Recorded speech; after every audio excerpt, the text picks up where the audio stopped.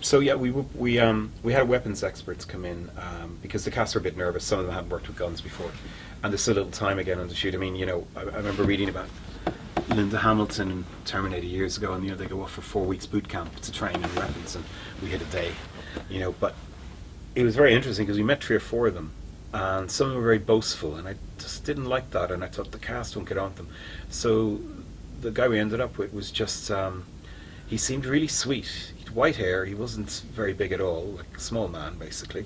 If he was here sitting beside, I wouldn't say it because he was just. He never boasted, but he was. Um, he was the real deal. And over lunch one day, he told us some horrendous stories about what he'd had to get up to. And again, he told in a very quiet voice, where we had to get the information from him. He wasn't boasting about it, which made it more sinister.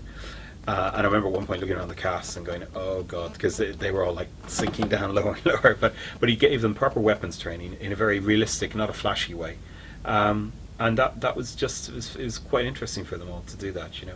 But um, they were all quite scared of him, I think. training um, was an amazing part of like preparation for the film. I absolutely adored it because I mean I've never got to do things with guns, and it's always the boys that get to handle the guns.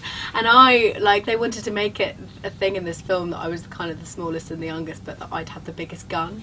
So I had to do like training with these huge like sniper rifles, and um, just it was fascinating. And and meeting this guy that um, that trained us, really interesting character.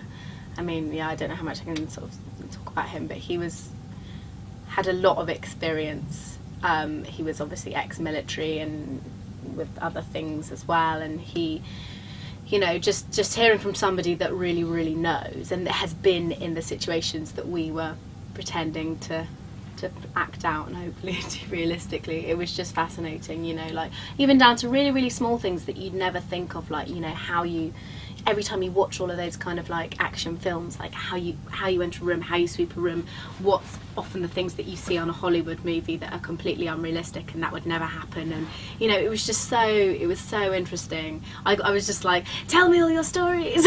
He talked to me all day about all the all of the amazing things that he'd which I won't kind of don't think I can repeat, but that he'd you know experienced was fascinating.